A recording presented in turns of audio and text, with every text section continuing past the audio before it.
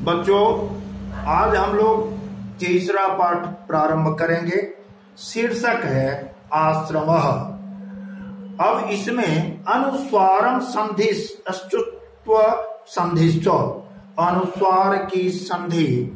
अनुस्वार का क्या होता है या अनुस्वार कैसे बनता है, उसके बारे में संधि सहित उसको पढ़ेंगे। इसमें कहानी कुछ इस तरह है। अस्माकम सीतापुर जनपदे नैमिकारण्यम प्राचीनम तीर्थ स्थलम अतीव प्रसिद्धम अस्ति। हमारे प्रदेश के सीतापुर जनपद में नैमिकारण्य प्राचीन तीर्थ स्थल बहुत प्रसिद्ध है। तत्र पुरा काले एकस्मिन् आश्रमे ऋषियः, मुनयः, गुणवः, कवयः, छात्रश्च निवसन्ति स्म वहाँ पुराने समय में एक आश्रम में ऋषि, मुनि, गुरु कवि और छात्रगण रहते थे। आश्रम से विशाले परिसरे अश्वत्थ वट निम्बाशोक वृक्षाणाम गहना छाया परिव्याप्ता शीत वहाँ आश्रम के विशाल परिसर में अश्वत्थ यानी पीपल बट यानी बरगद, नींब और अशोक के वृक्ष गहन छाया से परिव्याप्त थे, गहन छाया देते थे। तत्र फलशालिन आम्रामलकम पनस पेरु वृक्षा वहंते अस्म। वहाँ फलशाली आम्र अमलक पनस और पेरू, आमला, कटहल आदि के वृक्ष थे। काले काले चौ मेघ वर्षति अस्म। समय समय पर मेघ बरसता था। इदानीमपि तस्मिन् आश्रमे धेनवः बलिवर्दाः अश्वाः अन्य च पशवः स्वच्छंदम चरंती इस समय भी उस आश्रम में धेनु यानी गायें, बैल, घोड़े और अन्य पशु स्वच्छंद रूप से स्वतंत्रता पूर्वक घूमते थे चढ़ते थे। वृक्षेशु कपिनाम कूर्दनम चटकानाम कूजनम मयूरानाम नर्तनम च दर्शकेभ्य आनंदम ददती। वृक्षों पर बंदरों का कू, बंदरों की कूद, चटक यानी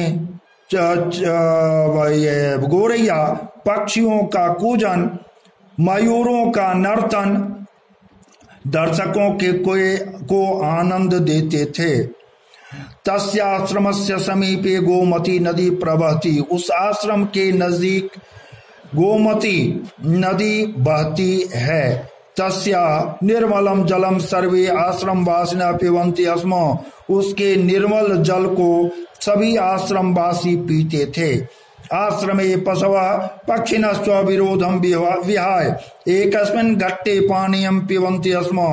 आश्रम में पशु और पक्षी विरोध को छोड़कर एक ही तीर पर पानी पीते थे। एकत्र वसंती अस्म एक ही जगह रहते थे। तत्र खादंती अस्म च और वहीं खाते थे। तत्र छात्राणाम कृते एते नियमा आसन। वहाँ छात्रों के लिए ये नियम थे। प्रातः सूर्योदयात पूर्वम उत्थातव्यम प्रातः सूर्योदय से पहले उठना चाहिए। नद्याम स्नानम कर्तव्यम नदियों में स्नान करना चाहिए। संध्या वंदनम करणीयम संध्या वंदन करनी चाहिए। ईश्वर ईश्वर नमनीय। ईश्वर को नमन करना चाहिए। साहेब खादनीयम साथ भोजन करना चाहिए। तथा पठनाय कक्षायाम गंतव्यम और पढ़ने के लिए कक्षा में जाना चाहिए। एतान आश्रम नियमान सर्वे छात्रा सम्यक प्रत्यपालयन। आश्रम के इन नियमों को सभी छात्र सम्यक पालन करते थे। संप्रत्यपि आश्रमोयम छात्रेभ्य श्रेष्ठ संस्कार प्रयक्षति आज भी ये आश्रम छात्रों के लिए श्रेष्ठ संस्कार देते हैं। तत्र जातिगतम भेदभाव बिना सर्वे निवसंति वहाँ जातिगत भेदभाव के बिना सभी रहते हैं। स्वास्थ्य संवर्धनाय। तत्र व्यायाम से योग से प्राकृतिक चिकित्सायाश्च शिक्षण प्रचलती।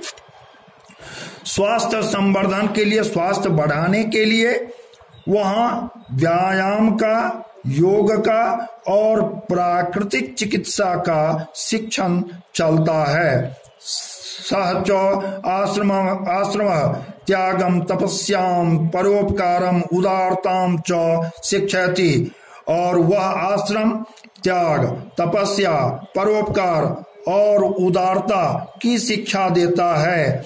एवं च एतादृश आश्रम इदानीम सर्वत्र भवित। और ऐसे ही आश्रम इस समय हर जगह होने चाहिए।